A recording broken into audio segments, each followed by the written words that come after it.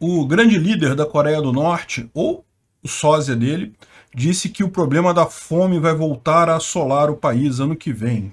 Por que, que a Coreia do Norte sofre tanto com a fome, né? Vamos entender esse assunto? Essa notícia foi sugerida por Vitor Ferreira, Elvis Defensor e mais um monte de gente. Obrigado ao pessoal que sugeriu a notícia. Obrigado a você que está assistindo o nosso vídeo. Se você gosta do nosso conteúdo, por favor, deixe o seu like, se inscreva aqui no canal, né? Pois bem, sempre que eu vejo notícia da Coreia do Norte, eu fico me perguntando qual desses aí é o clone número 1, um, o, o sósia número 1, um, o sósia número 2 do Kim Jong-un. A verdade é que tá mais do que na cara que é um monte de sósia que usa do cara, mas não muda o fato de que, seja lá quem esteja no controle do país, está de fato usando, é, é, dando essa notícia, né? E a notícia é que temos o problema da fome, né? E ele fez até uma uma ligação com é, um março difícil, que foi uma referência à Grande Fome de 1990, que foi quando a União Soviética deixou de mandar comida para a Coreia do Norte e 10% da população morreu de fome. Caramba, como é que pode? Por que que pode isso? Como é que chegou nesse ponto, né? E bem como chegou nesse ponto é muito fácil de saber. Comunismo, é exatamente esse é o problema, é isso que causa fome diretamente. Porque, justamente porque a ideia de você planejar de forma central uma sociedade sempre dá errado, sempre gera fome. E um dos motivos é que a maior parte das pessoas que está nas cidades, que mora em cidade, acha que poderia, que o trabalho no campo é um trabalho simples, que qualquer um faz aquele trabalho. Há aquele pessoal no campo que quer arar, quer plantar a terra. Não, isso é coisa de besteira. Eu aqui na cidade, eu estou muito mais é, educado e acadêmico. Eu li vários livros sobre como plantar trigo. Eu vou chegar lá no campo, eu posso chegar lá e plantar um negócio totalmente é, trivial, né? É igual aquela pessoa que acha que para aprender a nadar na piscina é só basta ler o livro de natação. É, faz isso, lê o livro de natação e se joga na água para você ver se você sai nadando direitinho. Ou se vai levar você muitos e muitos anos, muito, muito tempo. No caso da natação não chega a ser anos, né? Chega a ser dias, mas vai levar alguns dias até você estar tá conseguindo não se afogar na piscina, né? Enfim, essas coisas são muito mais complexas do que parecem. Né? Acadêmicos que leram inúmeros livros sobre como plantar feijão no dia que tiver que pegar uma enxada para botar na terra e botar o feijão lá e fazer a coisa funcionar, meu amigo, vão ficar completamente perdidos. E o que, que aconteceu na Coreia do Norte na época da Revolução lá, né? Quando houve a Revolução na Coreia do Norte, foi uma revolução comunista, no auge do comunismo, né? E o pessoal tinha aquelas ideias todas de não vamos planejar a sociedade de acordo com o melhor o que, que foi feito lá? Foi criado um sistema de castas. Né? Eram basicamente três castas que depois se subdividem em uma série de castas. A casta principal era a casta dos militares e que, né, lógico, por motivos óbvios, eram quem realmente apoiou a Revolução Comunista e coisa e tal. Então eles tiveram todas as vantagens do mundo, coisa e tal. Eles tiveram acesso, uh, ainda hoje é assim, tá? Esse sistema de castas existe ainda lá, tá? As pessoas, quando elas nascem, elas nascem numa casta. É proibido o casamento intercasta lá na Coreia do Norte. Se você casar com alguém de outra casta, você vai ser demovido para a casta inferior os filhos nascem na mesma casta dos pais, então é, os que são descendentes apenas dos militares lá daquela época estão relativamente bem na Coreia do Norte. Né? É aquela história, comunismo para o líder comunista, para a galera que está em torno dele ali, funciona muito bem, não funciona para o povo. Para quem está ali na cúpula, funciona bem para caramba.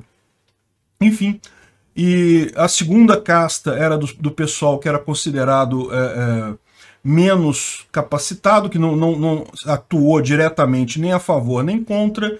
Então você tem, por exemplo, médicos, esse tipo de coisa, né? advogados, isso aqui. Desculpa, advogado não, advogado foi da terceira casta. Mas uma série de profissões que tinha ali, que era o pessoal proletário, é, é, trabalhadores e coisa e tal, que não atuaram diretamente a favor da revolução, mas também não atuaram contra. E por último, na última casta, tinha o pessoal que efetivamente foi contra a revolução, ou eram advogados, pessoas muito ricas, donos de terra, o pessoal que efetivamente trabalhava a terra lá na Coreia do Norte, os donos de terra, foram todos para a terceira casta, que é basicamente uma casta de escravos. Eles continuam no interior, coisa e tal, os filhos deles continuam na mesma casta, não tem como sair da sua casta, é, mas é, no final das contas eles não têm mais acesso à propriedade de terra, não, é mais, não são mais eles que é, que decidem como plantar, o que plantar, quando plantar, muito naquela ideia de que não, não precisa dessas pessoas. Essas pessoas são inúteis, elas, é, é, o processo, o conhecimento que elas agregam nisso daí é, é quase nada. Só que importa mesmo é botar as pessoas para cavar enxada e jogar a semente no chão.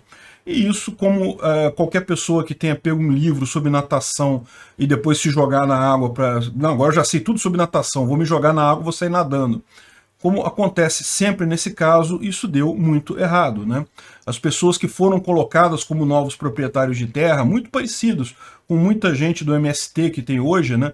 Veja, eu não tenho dúvida que tem pessoas no interior que têm capacidade de se tornar um agricultor, que tem conhecimento de como arar a terra, como cuidar da terra, mas uma grande parte, por exemplo, do pessoal do MST se trata de pessoas da cidade que não tem nenhum conhecimento nesta área. Se você colocar um latifúndio na mão da pessoa, ela vai quebrar, porque ela não vai saber produzir aquilo ali.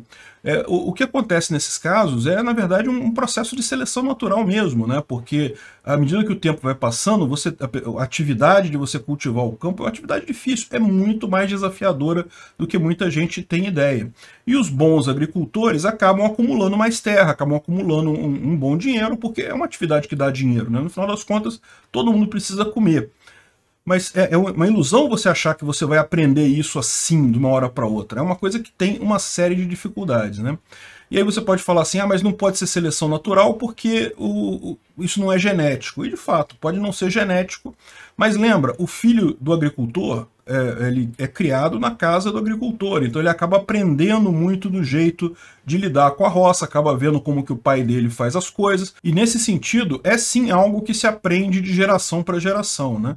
Quando você faz uma loucura dessa, como não, vamos tirar esse pessoal e vamos botar o pessoal acadêmico para dirigir as fazendas e fazer as plantações, você tem exatamente o que você tem na Coreia do Norte, que é fome sistêmica. E desde então esse sistema tem acontecido assim. Você pode imaginar assim, não, mas nessa altura o pessoal já teria aprendido, já teria começado a mexer com a terra, aprendido a mexer com a terra. E é verdade, só que o que, acontece? Você tem uma força muito melhor, muito maior ali, que é a força do partido. Né? O partido é que decide a decisão central sai sempre do partido. Então, no final das contas, esse pessoal que está na terra ali, que, que gere as terras na Coreia do Norte, que lá ninguém tem propriedade de terra, né? é comunismo, é tudo do Estado, mas as pessoas que gerem cada fazenda e coisa e tal, eles têm só que reportar para o governo central o que eles estão fazendo.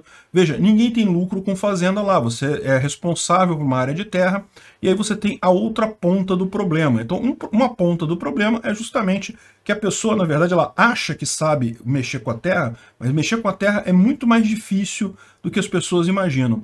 E outra coisa é isso, a pessoa não tem incentivo para melhorar a produção, porque se ela produzir pouco ou produzir muito, o que ela vai receber no final do dia é a mesma coisa. É o contrário do que você tem hoje, por exemplo, aqui no Brasil. Se um agricultor ele produz muita coisa, ele tem uma consegue melhorar a produtividade da terra dele, ele vai ter lucro, ele vai ganhar mais dinheiro, ele vai, então ele tem um incentivo para melhorar a produção dele. Lá, o único incentivo que ele tem é um grande líder pedindo é, para ele fazer isso. Né? É, é, um incentivo, até é lá, porque se você não obedecer o grande líder, você é fuzilado, então não deixa de ser um incentivo. Mas não é um incentivo tão bom quanto um incentivo positivo, de você melhorar a sua condição à medida que o tempo vai passando. Então, é essa a história da tragédia da fome na, na Coreia do Norte. Eles estão falando aqui, ah não, porque teve um alagamento esse ano, e um rio transbordou e alagou muitas terras e coisa e tal. Só que é aquele negócio que eu falo para vocês. Se fosse só isso, eles teriam fome esse ano, mas o que a gente vê da Coreia do Norte é, desde o período que houve a Revolução Comunista, eles têm problemas. No início, eles não tinham tantos problemas assim, porque a Rússia, interessada em ter um aliado estratégico naquela região, mandava comida para lá. No momento que parou de mandar, meu amigo, é, comunismo não tem jeito não tem como funcionar, os incentivos estão todos errados, e essa ideia de que não, vamos refazer, vamos redesenhar a nossa sociedade para um padrão melhor, isso não funciona nunca. Anarcocapitalismo só é possível porque já é a forma como nós vivemos hoje.